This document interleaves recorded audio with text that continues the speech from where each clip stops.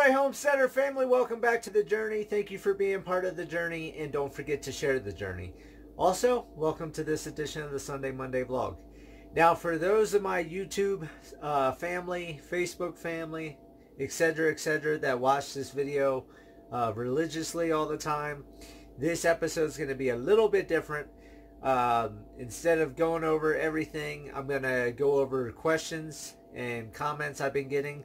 I've been writing down a list, so it's going to be like a Q&A session right now, and then I'll have the regular uh, footage video uh, going on after uh, this segment. But with so many new people uh, joining in, I think I have a, another 100 or something, or not 100, 50 some subscribers on YouTube all of a sudden. And now I have several hundred more on Facebook and Instagram's picking up, Twitter's picking up. So because I'm growing, I'm getting more questions and comments and everything else. So I'm going to go ahead and paint over uh, as much as I can. So I filled a whole uh, list here of what everybody wanted to know uh, or questions, comments, uh, things like that. So I'm going to start going over all those and we'll go from there. So first off, I'm getting a lot of questions. Who am I? So I'm Johnny Jewels. I'm the one that runs today's Homesteader Ranch and Petting Zoo. Uh, it's just who I am. Uh, when did I start this? I started this four years ago. I started in 2016. I started the YouTube channel up. Uh, started as a homestead cha channel, living off grid. Um, now going into petting zoo, and of course I'm going to get back to the whole homesteading in the next couple years because I'm going to be building a farm and doing a lot of other stuff, which I'll cover that in another question. Uh, why did I open to the public? I opened to the public because last year, uh, after I got camels and Azores and uh, different uh, Scottish Highlander Zebu cattle and all that type of stuff, I started having people visit because they saw things on my Facebook with me walking a camel down the road on a leash and the different adventures and uh, the exotic journey that I'm on. So I decided to open to the public because after 400 people last year just showing up random times, random days, and then I got Rex the kangaroo in January and started getting 40 to 50 people a week coming up. I just decided that I should uh, go ahead turn it into a business because if I had that many people coming up and people were willing to pay, uh, then that would help cover the feed costs of the animals because it's running me roughly 42000 a year in animal feed alone. I spent roughly 450000 last year, 75000 on the perimeter fence, the shipping containers, over 50000 buying animals, um, so on and so forth. But the biggest cost uh, year over year is going to be the feed. And like I said, I'm spending roughly 42000 a year. Right now I'm spending three grand a month in feed. I go through almost four pallets of feed right now during the warm weather. And then I go through five to six pallets during the winter time at 450, 475 bucks a pallet. And then you also got to include hay. Now, because we had no rain this year, it's costing me more money this summer and spring and early fall because I put $8,000 of seed out and no rain to make nothing germinate. So I just got a semi-load of hay, which you see in footage coming up after this. And that's why I decided to open public. If I could help cover some of the feed bill, it would take off a big burden of coming up with that much money each year just to feed the animals, let alone try to expand the ranch, farm, and everything else I want to do here. Uh, I've had several of these comments now. They want to know if I am copying Joe Exotic. No, I am not copying Joe Exotic. A lot, I've seen a lot of comments. Everybody's like, oh, all these places going to start popping up. No, I don't think a lot of these places going to pop up because A, it's a lot of money. B, you can't go nowhere. You're committed to the farm. You can't go on vacation. Can't go uh, places over the weekend and things like that. You can't go hanging out that at the bars because you got to be here for the animals. So a lot of people don't want to live that lifestyle for one. For two, it's very expensive. So a lot of people, especially with the economy now, can't afford it. Um, and three, I've been doing this, like I said, for four years. So it's not like I just saw the Tiger King in March and just started everything in April. I've done this for four years now. Uh, I just decided to open to the public because of all the people coming up here. So yes, Joe, the Tiger King, Joe Exotic, that uh, um, TV series came out perfect timing. That came out. Now I opened and now everybody wants to come up. That helps. And then of course got uh, news coverage, which I'll go over that. And uh, so let's see. When am I open? My days and my hours. I am open every day 11 to 7 except Mondays and Thursdays. Mondays and Thursdays I am closed. Um, due to the fact that I have to get stuff done here around the ranch. I do work uh, during the days that I am open, as everybody has seen that has come up here, because it's it's a work in process, progress.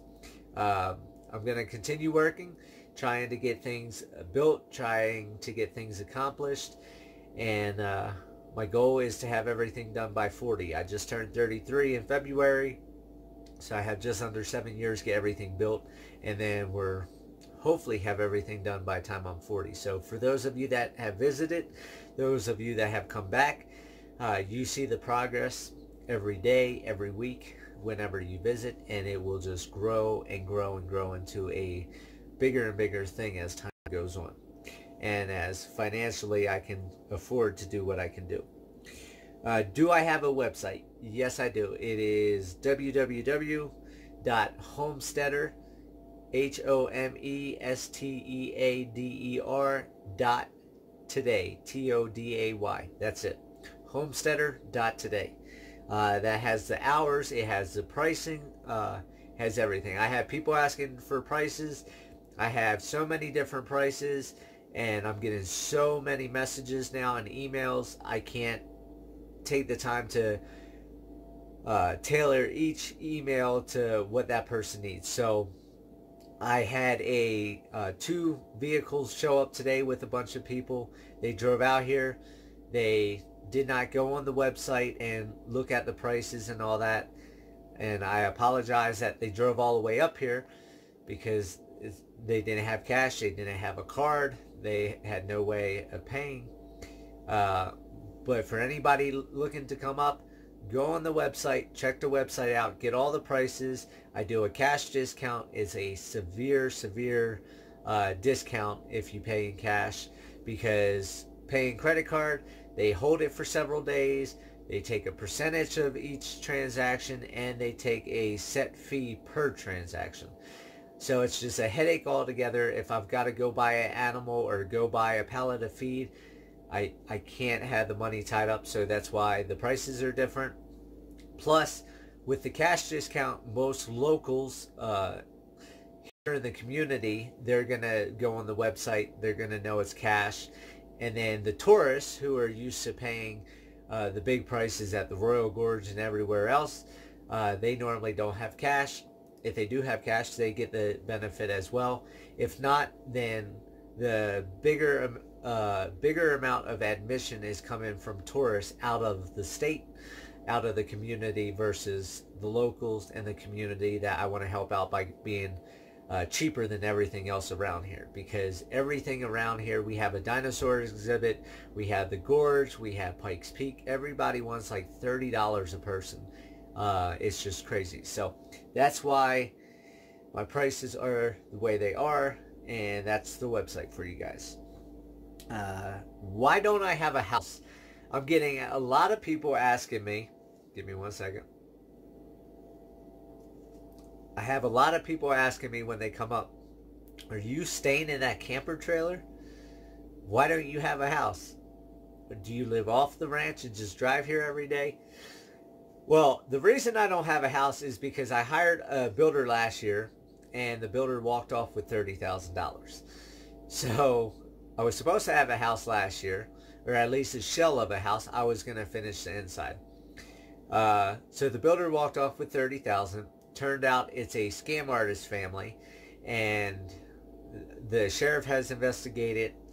They've done this to a lot of people. It's an investigation still ongoing, so I can't go into details. But I lost 30 grand last year. Don't have a house, and uh, it's just been a mess. So I had to file my building permit with the county June 15th of 2020 this year. They gave me that leniency to stay in the camper until, or not have to file a building permit and stay in the camper until June 15th. And the problem I'm having is I still can't find somebody to do the foundation. So I do have plans to stop at the county and see if there's any way they can get me somebody because nobody's returning phone calls. Nobody wants to come to Cotopaxi. I can't even get estimates. That's the worst part about Colorado. Uh, back east, you want an estimate, you can get five to ten companies come right out, give you estimates right away.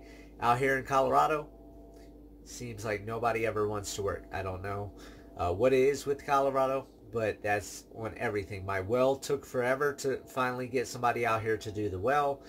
Um, it's just been a mess overall. So I'm going to try to get a house uh, built this year, possibly a shell of a house, so I can move into that instead of the camper trailer. Uh, but it all depends. I can't do a foundation. Uh, foundation is the most important part of a house, and I want it done right. So I don't even want to take a risk of messing it up. Anything after the foundation, uh, duct tape and uh, zip ties and all that type of stuff will probably fix any mistakes I make. So, won't be the prettiest, but the animals are more important right now. That's why I had the hay delivery uh, yesterday or day before, and I'm focusing on getting everything done with the petting zoo and all that, and then I'll worry about the house as soon as there's a foundation. Uh, if there's no foundation, I can't do nothing. So that's where I stand on the house. And then that leads to the next question, which is why not build my house first and worry about doing the animals and fencing and everything else I'm working on now later? Well, in my mind, the animals are more important, so that's why the fencing is going up. Plus, uh, some of the fencing was required with insurance. Uh, the sinks, uh, the porta potty, all those different things were required in order to have the insurance that I have. So I had to meet certain mandates, which on Thursday, uh, yeah, Thursday, I had my insurance inspection. So they came out, they got photos of the place, uh, asked a bunch of questions, checked the animals, all that type of stuff. So passed the insurance stuff and the fencing. I still have a couple more things I need to do for the insurance company. Um, a little bit more fencing to meet my requirements, but they see that I'm only one person. I'm doing it myself, and I've done 95% of what they've needed. It's just my time. I can only do so much in a day, and they understand that. So I'll finish what I can, and I'm sure I'll have another insurance inspection shortly to make sure everything got accomplished, and then we'll go from there. Uh, next question is what are my plans for animals, ranch, and future goals? So, my plans right now, I wanted to get bamboo and leaf trees in this year. But because it was so dry and so windy and horrible weather, bamboo needed to go in the first week of June. I did not meet that requirement because we had snow into June. June 9th, we had, I think it was either two and a half or four and a half inches of snow. So this year has just been a worse. 2020 has not been a good year to try to meet goals and plan things because everything's been tossed around in 2020. So my goal for 2021, if the rest of 2020 goes well and business picks up and does well for rest this year and going into next year, then my goal is I want another kangaroo for Rex because as everybody knows, I don't like having just one camel or one horse or one donkey. I like to have a minimum of two so they have the same species. uh, to talk to, to associate with, to play with, to live with. So another kangaroo is on the books. I'm still looking all the time uh, for a kangaroo to come up that's not $7,500 because I don't have that money right now with the economy being down, cryptocurrency being down, my money being down. Um, I've got to save the money for the house and money to feed the animals. So uh, baby or another kangaroo will be on the way if everything goes as planned. And next year I also plan to get a pair of zebras and a pair of ostriches as long as everything goes well. Uh, other goals for 2021 will be bamboo, leaf trees, and other stuff, which at the end of the year, I'll do, for those of you that don't know, I do an end of the year review. I go over this year, or the previous year, and then the first week of January, I do a new year, new goals, and I will have a video on everything planned out for all the goals and everything 2021 and go that way. So I'm not going to spend all the time going through all my goals because I'll do that in January so everybody can see uh, what's coming up for the year and uh, what new animals are planned if I hit certain quotas and things like that. Um, for those of you that don't know, uh, KOAA Channel 5 News reached out to me. They found me on uh, Facebook. It came out several weeks ago. I'm not sure if I talked about it in the other video. I know I said I was going to be on the news. So I they put me on the news, which was crazy. I got almost three and a half minutes of prime time.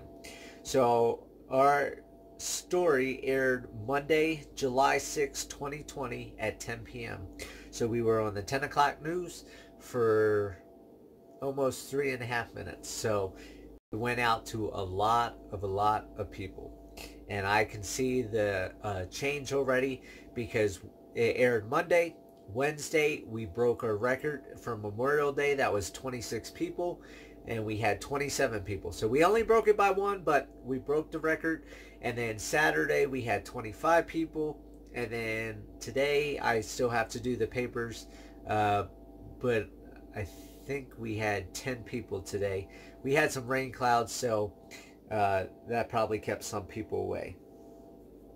Uh, let's see. Emu egg update. Everybody's been asking about the emu eggs. So none of the emu eggs hatched as I thought because I thought I cooked them because they were at a higher temperature, higher humidity with the chicken eggs, which I knew, uh, but I was seeing if it would work. It didn't work, which I'll show you right over here. I bought a Dremel. I'm going to drill them out and I'm going to sell the eggshells. So there's all the emu eggs sitting there. I just have so much stuff. Drilling the eggs is not my top priority. So they're going to smell. They're going to smell really, really ripe by the time I get to it. And then down here in the incubator, we have this entire tray that goes all the way back. It's a big cabinet incubator. So I think I have 10 dozen chicken eggs in there now. I'll have baby chicks the end of July they should start hatching along with all the other babies that are coming due. Uh, baby updates. uh, got the camel, Cleopatra, she's due. We have the donkeys that are due. We have the baby chicks going to be hatching. Uh, Minnie Mouse, Anatolian Shepherd, she's due the end of July. And who knows how many other babies I could have. Uh, for those of you that are wanting to know that are local, I will be taking pictures of the babies as I have new babies. They'll be on Facebook, uh, Instagram, Twitter, etc., etc. So if you guys follow those three uh, social media accounts, you'll be able to see when I have new babies. Uh, that way you guys can bring the kids back up or come up and check out the babies and go from there. And the last thing why don't I act slash why don't I use a script? Um, I've had several people ask why I'm not editing my videos. I stutter a couple times or I say the wrong word or I get hung up on something and try to think of what I'm trying to come up with. It's not a perfectly flowing, perfectly entertaining, perfectly situated video. The reason I don't do any of that is one, there's millions of YouTube channels and everybody likes to be an actor. Uh, people like to show you the rosy side of things, the rainbows, the unicorns, the birthday cakes, the whole nine yards. They want everything to look happy. They want everything to look perfect. Uh, same thing in marriages. Uh, people make their marriage look like they're happy when they're out in public. When they're home, they're miserable. Same thing with relationships, so on and so forth. Everybody acts throughout life.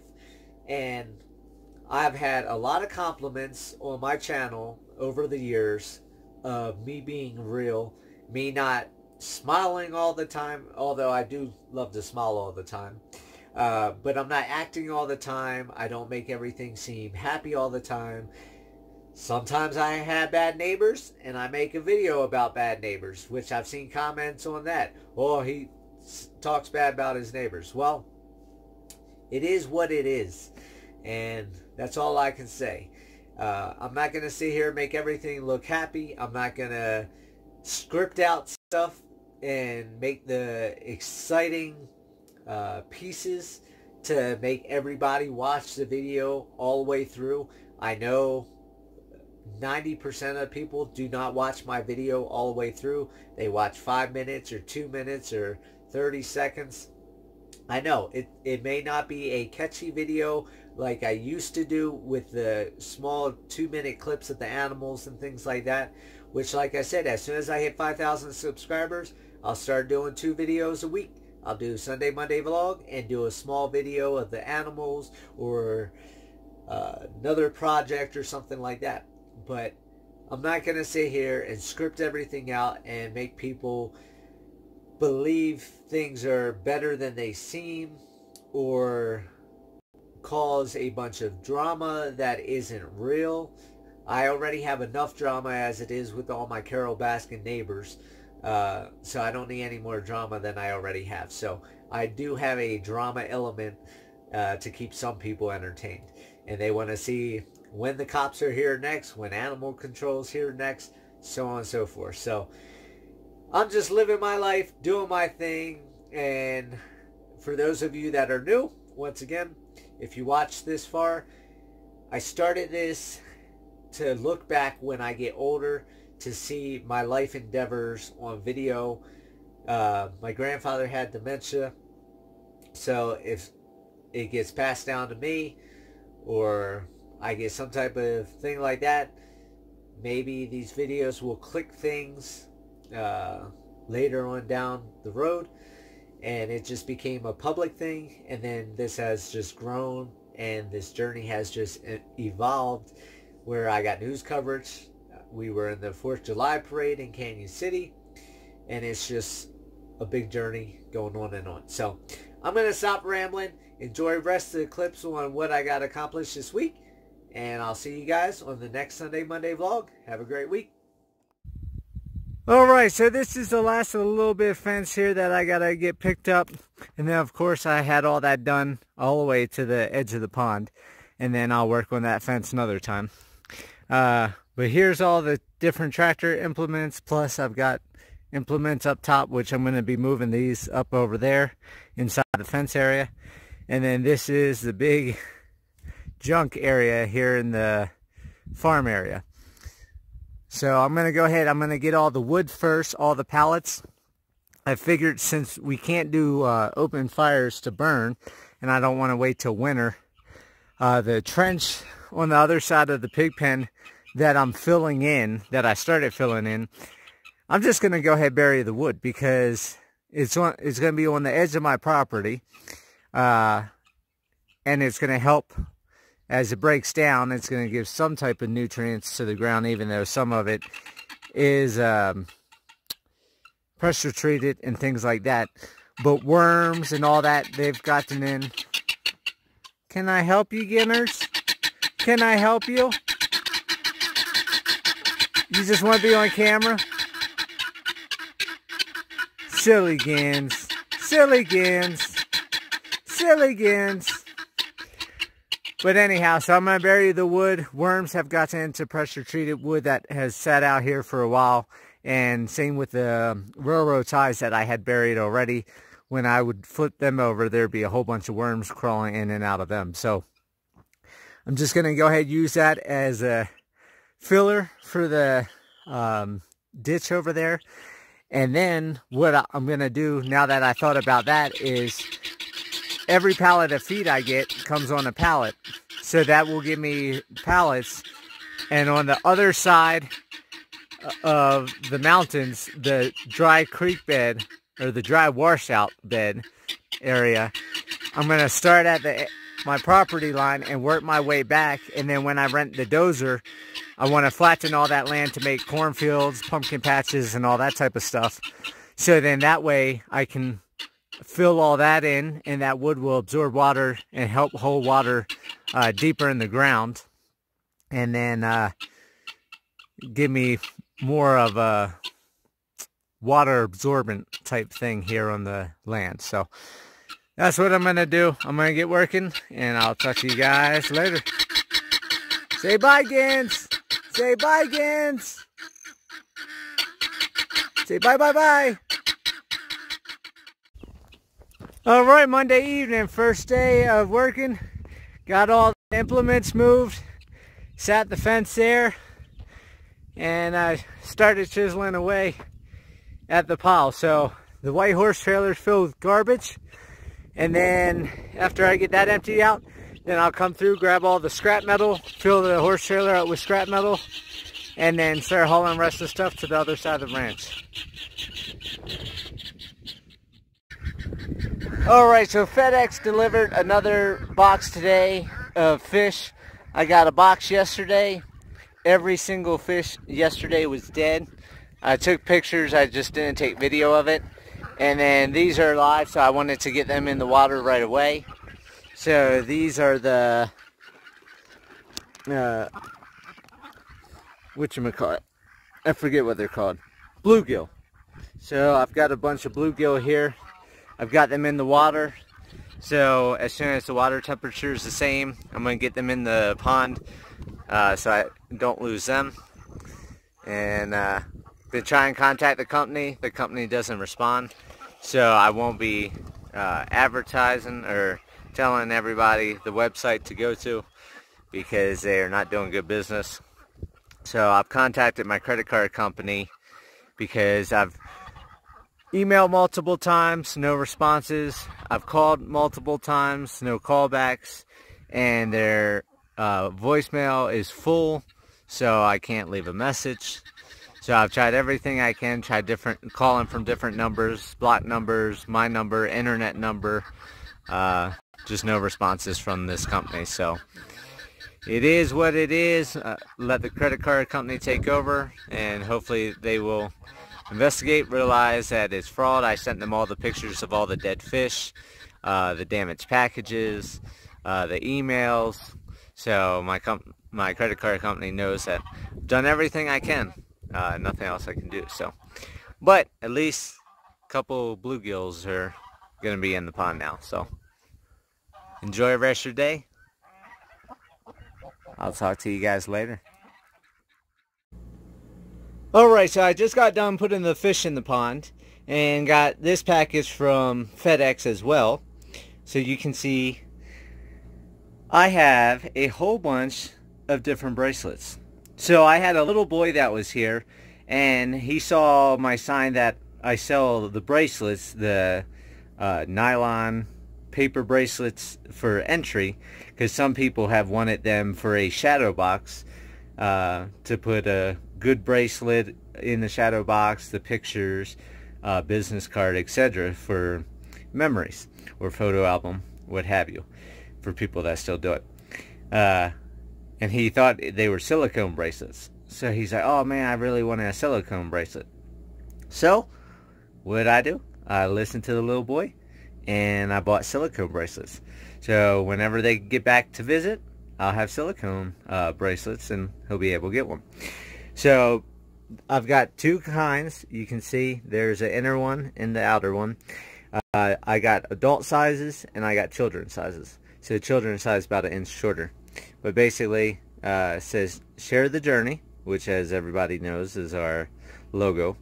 And then today's homesteader ranch and petting zoo.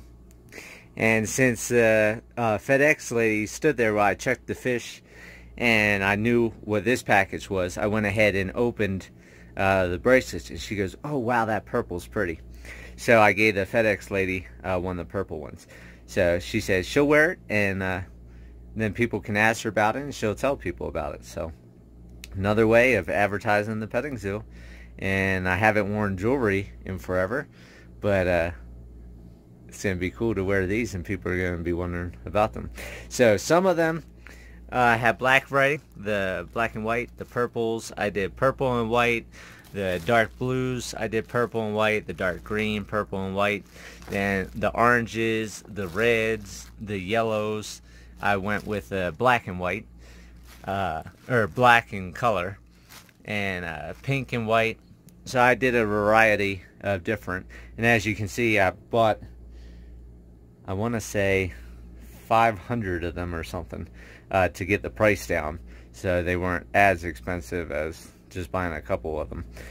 Uh, so yeah, this is what we're doing here at the ranch. Alright everybody, as everybody knows, I love to start my animals. So, since I started the animals, I never buy feed or anything like that. For those of you that are new to the channel, uh, new to watching me. Uh, that's all just a joke because everybody knows I take care of my animals. Uh, anyhow, last night, or yesterday, I was supposed to have my hay guy here. Um, highway got closed down. Then GPS took him a different way because he had to come from another road. So he didn't get here till late last night. And as everybody knows, if it wasn't for this tractor right here, I would not be able to do what I'm doing. And uh, with that tractor, I was able to boom, boom, boom, boom, boom. Couple uh, things got busted last night. I'll throw those into the pig. Uh, but you can see the hay goes all the way around. So another semi-load of hay, another four grand spent, uh, 45 bales. And uh, go over here, show you the beautiful hay. So the animal's going to be happy. I'm going to get the road lined up. I'm going to get them fed real quick. Uh, but you can see that nice green lush hay. So I'll have the road lined today. Today's Saturday. So I'm thinking today's probably going to be a busy day because after that news story came out on Monday, uh, Wednesday I broke my record. 27 people now is my record and I had a bunch of people uh, messaging me on Facebook talking about coming today. So we'll see what today holds, but I've got to get the animals fed, and then I've got to start humping these with the tractor, which is nice because I sit there in the air-conditioned cab. Boom, air-conditioned cab. Put the radio on, listen music, and just cruise around do my thing. So enjoy your day. It's a beautiful, beautiful day here in the. Okay, the unfortunate news. You can see the pond has dropped and dropped and dropped. Day by day by day, it goes down farther and farther and farther. And we've had these rain clouds off and on all day today. It's Sunday.